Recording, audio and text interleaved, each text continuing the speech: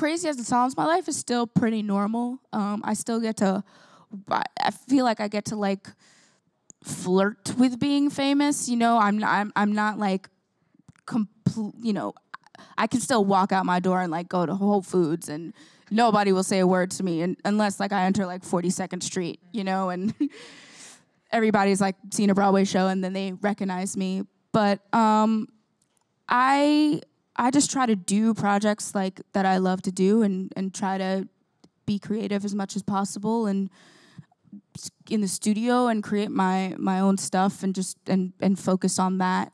All that other stuff. Eh.